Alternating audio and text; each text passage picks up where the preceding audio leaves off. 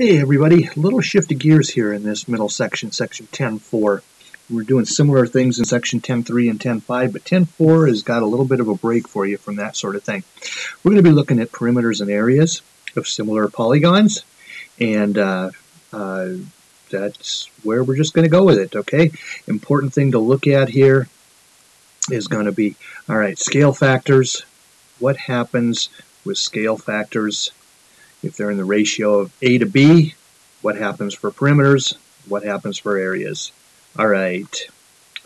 So let's start by taking a figure, and I'm just using a rectangle because it's simple. All right. So rectangle 1 right there, rectangle 2 right over here, blown up by a scale factor at 2. So we took the 5 and we made it a 10, we took the 12 and we made it a 24. Okay, scale factor 2. Now let's check out their perimeters. Perimeter of the large figure, well, we're going to add up all the sides, 10 plus 24, 10 plus 24, that gives us 68. Smaller figure, 5 plus 12 plus 5 plus 12. Perimeter of the smaller one is 34. Ratio of the two is 2 to 1. Okay, fair enough. By the way, keep in mind, our scale factor is 2. Look at that ratio. All right, ratio perimeter, same as the ratio of the, uh, the scale factor. Okay, now let's look at the areas. Area of the big figure, 10 times 24, right? Base times height, 240. Area of the small figure, 5 times 12, 60. Now we have a ratio, areas, 4 to 1. So scale factor of 2 gave us a perimeter ratio of 2 to 1, area ratio of 4 to 1. And that would hold true for any figure, not just rectangles, okay? Now, what happens if we blow something up by a factor of 3? All right, so I just chose some different numbers, 3 and 7, blew it up to 9 by 21. Okay, look what happens to our perimeter. You can follow the calculations if you want. Perimeter ratio, 3 to 1. Same as our uh, scale factor, right? But look at the area of the uh, at the ratio of the areas, 9 to 1. Okay, one more example. Oh, by the way, I was just going to show you this too, by the way. I mean, this would make sense, right? If I duplicate this guy over here, Okay, look how I'm going to be able to fit nine of these guys. Okay, in the big rectangle. Okay, I won't spend too much time here, but it, you guys see where we're going with this, right? Okay. Obviously, the, the, again, the area would be nine times as big as the original one. Okay, so same back here. I can fit four of these over in this guy. Okay.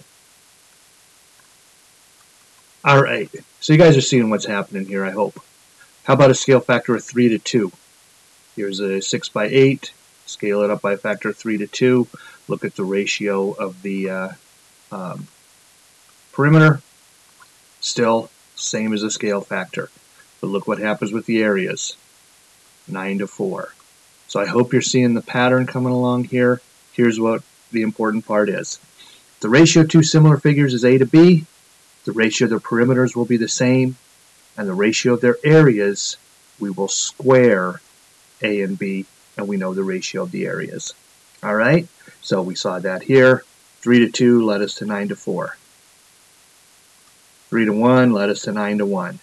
Okay, 2 to 1 became 4 to 1. So every area changes by a squared over b squared if our scale factor is a to b. Good? Good. Now, a bunch of examples for you to work on. You can pause them all, work through them. Okay. Here we go. Trapezoids are similar. What's the ratio smaller to larger of the perimeters and of the areas? Well, scale factor is 6 to 9, 2 thirds. Therefore, the ratio of the perimeters is 2 thirds. Ratio of the areas 4 over 9. Good. Uh, one done in words. Pause it. Here we go. This time, notice I said larger to smaller, so scale factor 7 to 5. Ratio perimeters, still 7 to 5. Ratio of areas, 7 squared over 5 squared, 49 over 25. Okay, other problems. Two octagons, What's the area of the larger one? if the smaller one is 77.12. Okay. Scale factor, 4 to 10 or 2 to 5. So the ratio of the perimeters is 2 to 5, but the ratio of their areas is 4 to 25. Therefore, 4 to 25, that ratio is the same as the ratio of the smaller figure to the larger figure, 77.12 over the area of the large guy. Cross multiply, divide, you find the area of the big guy. Okay. Other one put in words, two similar polygons, 3 to 4. Area of the larger polygon is 96. Scale factor 3 to 4. Ratio perimeters 3 to 4. Ratio of areas 9 to 16. Therefore 9 over 16 equals the smaller area over the bigger one. Solve for the smaller area.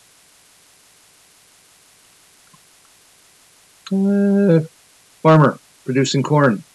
Last year got a thousand bushels. This year, what happens if his plot is two and a half times larger? Scale factor, 2.5 to 1.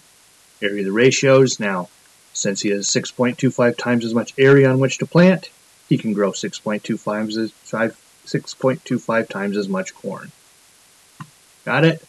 Got it. Two pieces of glass, sides in the ratio 3 to 5, smaller piece costs 250. Okay, so scale factor, I went 5 to 3, it's alright. Areas 25 to 9, so 25 to 9 would give us the area of the, the cost of the large guy over 2.5 for the cost of the small guy. The cost of larger figure 694. So I hope this is all makes sense. Play it over again. Okay. Finally, one working is backwards. Two triangles are similar. What's the ratio of their perimeters? It gives us the areas. So pause it. Here we go. Ratio of the areas looks like that. We can simplify it down to 25 over 49. Therefore, the scale factor must be the square root of both of those, 5 to 7. And the ratio of their perimeters must be 5 to 7. One more problem. Pause it. Here we go.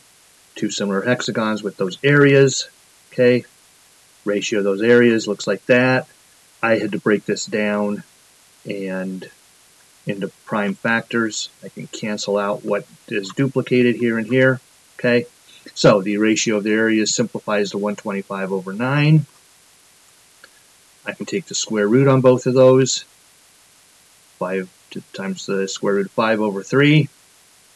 Therefore, the ratios, their perimeters, looks exactly like that. Got it? Hope that's good. I'll see you tomorrow.